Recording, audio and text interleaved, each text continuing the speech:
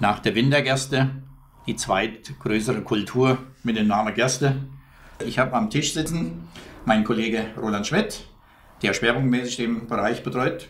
Richtig. Oberfranken, Oberfranken Oberpfalz, Rhön-Grabfeld. Okay, das ist schon mal das Sommergerstegebiet, Roland, und deshalb die Frage an dich. Wie bekämpfen wir Ramularia und Co. in der Sommergerste wirtschaftlich und nachhaltig? Und auch welche Gerstenfungizide bietet denn die BASF in 21 an?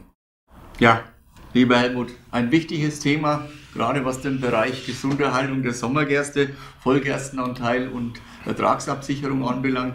Und die BASF ist hier in einer erstaunlich glücklichen Lage, dass wir tatsächlich nach dem Wegfall von Chlorthanonil und damit auch dem Verlust einer sicheren Bekämpfung äh, der Ramularia eine echte Alternative anbieten können.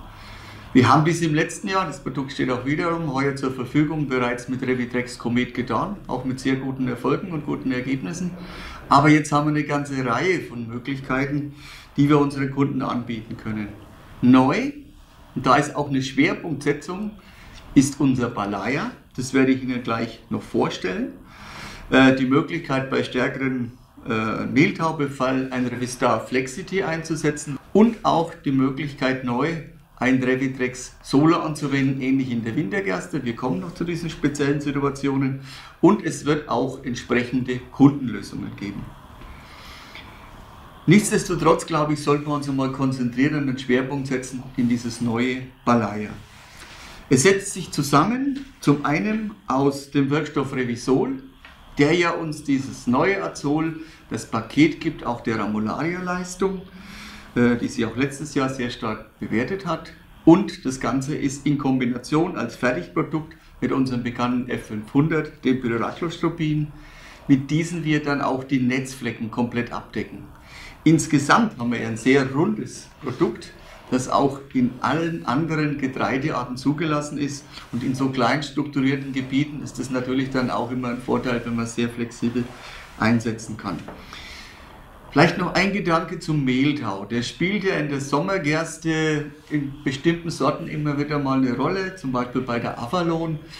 Balaya, der Wirkstoff Revisol, kann tatsächlich auch eine gewisse Mehltauleistung bringen und in der Gerste ist es durchaus ausreichend, sodass wir also auch eine Spritzfolge aus Balaya und ein Folgeprodukt ansetzen können.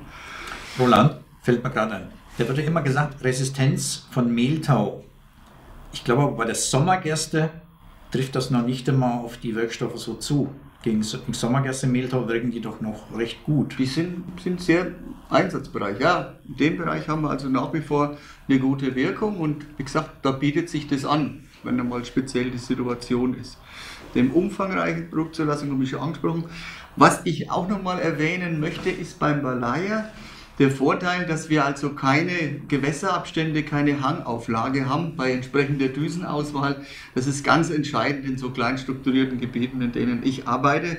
Und dann kommt noch dazu auch die Gebindegröße. Äh, wir haben in vielen Bereichen unsere Packs nur 10 Hektar Packs angeboten und hier haben wir auch 5 Liter äh, Produktbeleihe, somit dass ich auch diese kleinen Struktur sehr gut zurechtkomme und eine Alternative tatsächlich anbieten kann und da auch den Schwerpunkt reinlegen möchte für unsere Kunden. Welche Versuchserfahrungen haben wir jetzt gemacht mit den Mitteln in der Sommergäste?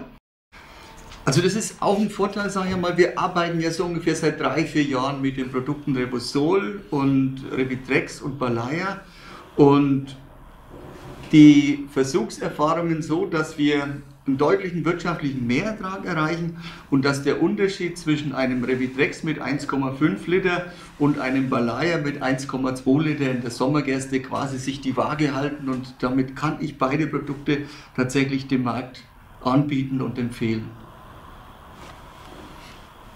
Wichtig sind halt in diesem Zusammenhang die Kosten auch. Eben, denn sonst könnten wir ja auch wie in der Wintergerste fahren mit den 1,5 Liter Revitrex. Aber du hast es gesagt, von der Wirtschaftlichkeit her liegst du mit dem Balaya in der Sommergerste ordentlich da. Ja. Stehen wir ordentlich da. Das ist ja. nochmal sehr günstig. Ja. Und das war auch die, wäre nochmal die Frage gewesen, äh, weil du ja auch manchmal aus den trockeneren Lagen, Unterfranken und so weiter kommst, ob wir da immer die vollen Aufwandmengen brauchen oder ob es dann doch etwas preiswerter geht, wie du gesagt hattest, mit Balaya. Also prinzipiell sollte man sich ja in solchen Bereichen, was Aufwandmenge, Reduzierung anbelangt, immer an die Natur halten. Was habe ich für Infektionsgeschehen? Äh, was habe ich für eine Ertragssituation? Und da ist ja das Schöne, dass ich dann tatsächlich spielen kann. Ich habe vorhin schon mal die Situation mit der Avalon erwähnt. Sollte tatsächlich Mehltau frühzeitig sein, dann kann ich ein Balaya vorwegsetzen und gefolgt dann von einem Revitrex. Dann gibt es also auch eine Doppelbehandlung und dann kann man auch das mit entsprechenden Aufwandmengen zu einer wirtschaftlichen Maßnahme führen. Das heißt, als Fazit, Schwerpunktempfehlung in Bayern wäre 1,2 Liter Balaya als Einmalanwendung in der Sommergerste. Zur Absicherung, wie gesagt, des Ertrages, zur Absicherung auch im Bereich der Ramularia, bis hin äh, ja, zu den gesamten Krankheiten, die wir in der Gerste so haben. Und wir haben ja auch immer so eine Befragung von den Landwirten und Kollegen, was die einsetzen in der Sommergerste. Und da kommt in Bayern raus, grob. Wir sind so in einem Bereich von Kosten um die 56 Hektar, Euro pro Hektar, die eingesetzt werden. Die die Landwirte einsetzen. Richtig, und da kann man sich darauf freuen, da in dem Bereich werden wir uns gut positionieren. Und das ist natürlich für mich auch im Vertrieb äh, Vorteil, wenn man Produkt entsprechend mit so einer hohen Leistung und äh, dann auch preiswert im Markt, kann. Im Markt, Im Markt passen. Mhm. Vielen Dank, Roland, zum ja. Überblick zum wirtschaftlichen und nachhaltigen Einsatz hier von Fungiziden in der Sommergerste. Mir bleibt noch Ihnen, verehrte Zuhörer, verehrte Landwirte und Landwirtinnen, alles Gute zu wünschen für 2021. Allen zusammen wünsche ich, dass noch ein bisschen Niederschlag kommt, jetzt mit Schnee oder später mit Regen, sodass wir dann auch wieder gute Erträge in 2021 einfahren können. Vielen Dank fürs Zuhören. Dankeschön. BASF. We create chemistry.